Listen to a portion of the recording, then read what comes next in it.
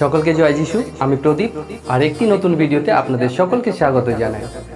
আজকে আমি আপনাদের একটা গল্প বলব।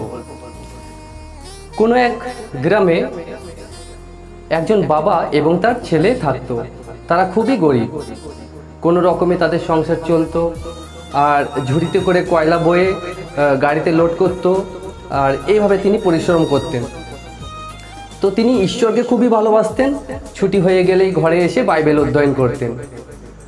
তো একদিন তার সেই ছেলে তার বাবাকে জিজ্ঞেস করছে যে, বাবা, তুমি তো বাইবেল পড়ছো, কিন্তু তুমি তো কিছুই মনে রাখতে পারো না। সবই তো ভুলে যাও, তাতে তোমার কি লাভ হয়? তার বাবা মুচকি হেসে তার ছেলেকে বলল, বাবা, আমার কাছে এসো, আর এই ঝুড়িটাকে নাও পাশে একটা পুকুর আছে, সেখান থেকে এক ঝুড়ি জল তুলে নিয়ে এসো। তার ছেলে সেখানে গেল জল তুলতে।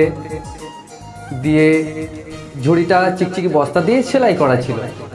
তো যথেষ্ট পরিমাণে জল তুলেছিল। অর্ধেক রাস্তা আস্তে আস্তেই সব জল তলা দিয়ে গলে চলে যাচ্ছে।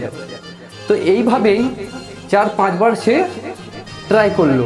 কিন্তু জল নিয়ে আসতে পারল না। যে সেই ছেলেটা তার বাবার কাছে গিয়ে বলে, এটা কি করে সম্ভব? এতে করে কি জল আনা যায়? তার বাবা বলল, বাবু, তুমি তো চারবার, পাঁচবার তুমি গেলে জল ভরতে, কিন্তু জল তো আনতে পারলে না।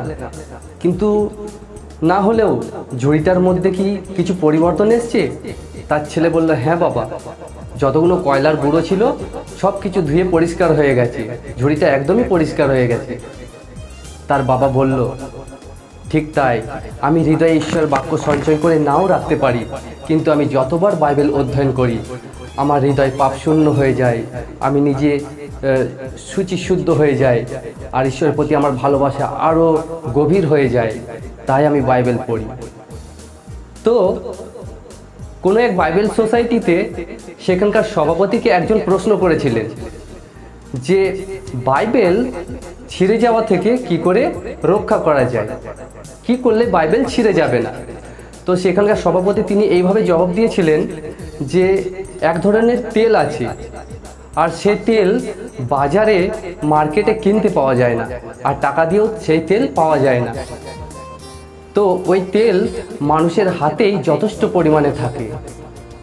প্রিয় ভাই ও বোন, আপনার বাইবেল কি সত্যি আপনি রোজে স্টাডি করেন? বাইবেল পড়েন?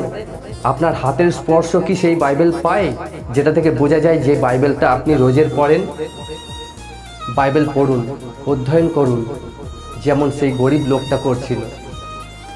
আমাদের অনেক বিশ্বাসী ভাই ও বোন এরকম মনে করেন যে বাইবেল ঈশ্বরের বাক্য।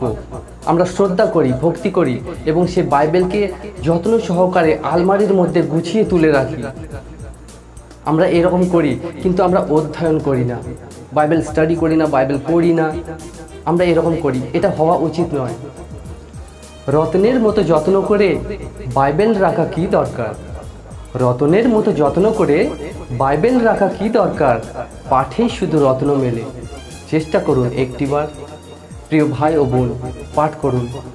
বাইবেল রেখে দেওয়া জিনিস নয়। ঈশ্বর আমাদের মহান পিতা। আমরা কি আমাদের বাবার দিয়া উপদেশ অধ্যয়ন করি? প্রিয় ভাই ও বোন, অধ্যয়ন করুন, পাঠ করুন। সময় নষ্ট করবেন না। লকডাউনে আমাদের বিশ্বাসী ভাই ও বোনেরা অনেক সময় অনেক ভাই বোন হয়তো বাইবেল অধ্যয়ন করে সময় কাটিয়েছেন, আবার অনেক বিশ্বাসী ভাই বোন এরমও হতে পারে যে বাইবেল অধ্যয়ন করেননি সেই সময়গুলোকে নষ্ট করেছেন। তো সময় নষ্ট কর, প্রিয় ভাই ও বোন, এই গল্পটা আপনাদের কেমন লেগেছে কমেন্ট বক্সে লিখতে একদমই ভুলবেন না, কারণ আপনাদের মূল্যবান মতামত আমাদের এইরকম ভিডিও তৈরি করতে উৎসাহিত করে তোলে। তো এখানে সমাপ্ত করি। আর দেখা হবে আরেকটি নতুন ভিডিওতে। ততদিন সুস্থ থাকবেন, ভালো থাকবেন এবং আমাদের জন্য প্রার্থনা করবেন। ধন্যবাদ। জয় যিশু।